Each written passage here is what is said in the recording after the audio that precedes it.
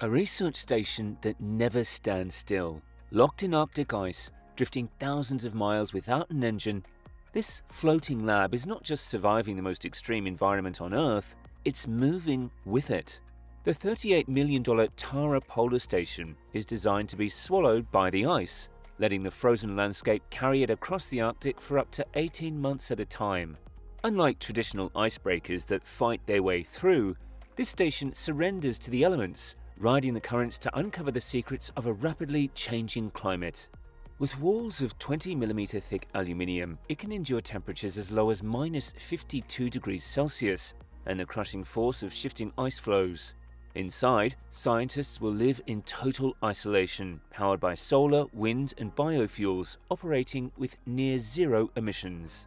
As Arctic ice vanishes faster than ever before, this station could be our last chance to understand what's at stake. But how does it survive in such brutal conditions? The Arctic is a crucial regulator of Earth's climate. Its vast ice sheets act like a giant mirror, reflecting sunlight and keeping global temperatures in check. But here's the problem that mirror is breaking. As Arctic ice melts, darker ocean water absorbs more heat, accelerating climate change in a dangerous feedback loop. And the effects, they don't stop at the Arctic. Rising sea levels, shifting weather patterns, and threats to global food security, all of it ties back to the disappearing ice. Scientists warn that if we don't act fast, summer ice in the Arctic could vanish entirely within decades. Yet, for all its importance, the Arctic remains one of the least understood regions on Earth. Why? Because studying it is incredibly difficult.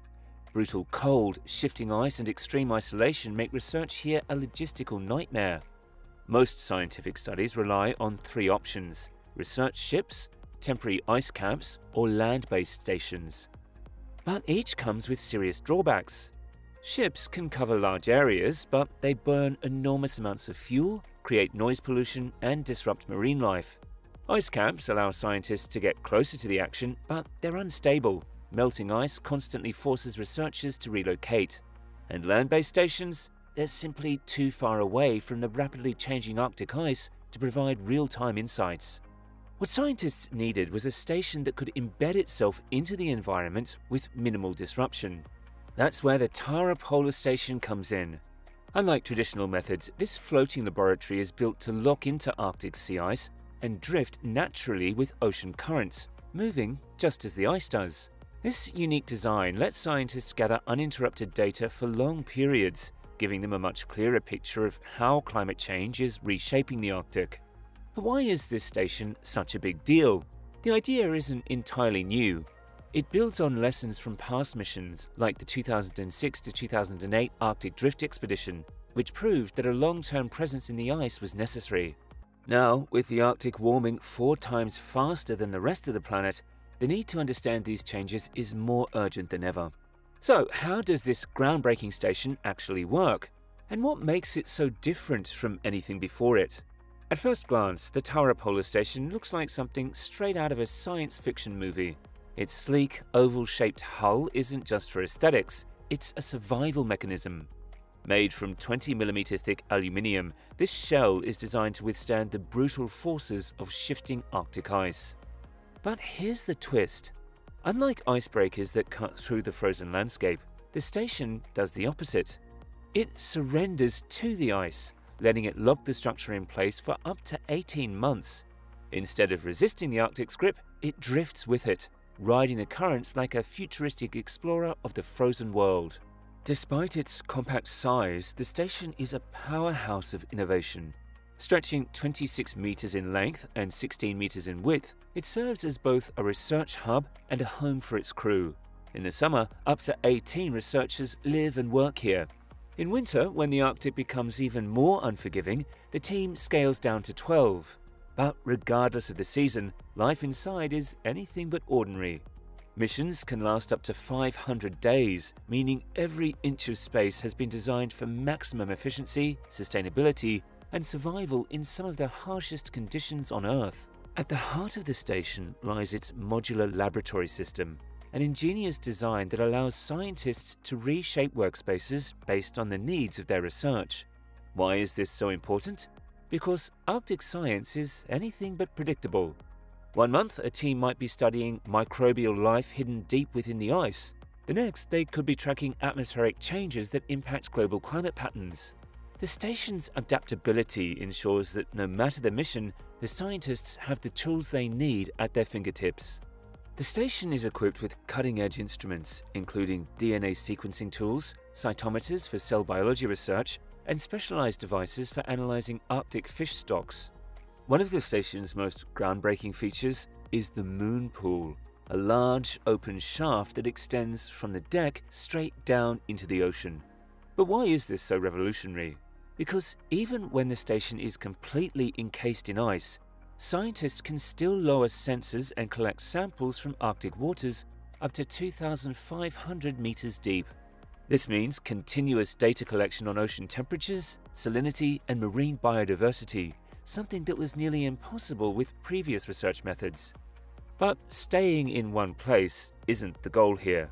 The station is equipped with a self-propulsion system, allowing it to adjust its position when necessary.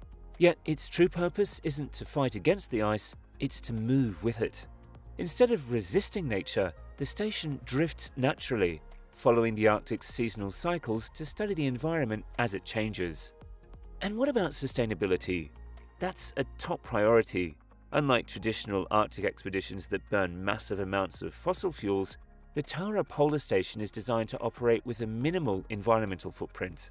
Solar panels, wind turbines, and third generation biofuels power the station, reducing diesel reliance and keeping operations nearly carbon free. Inside, every aspect has been optimized for survival in extreme conditions.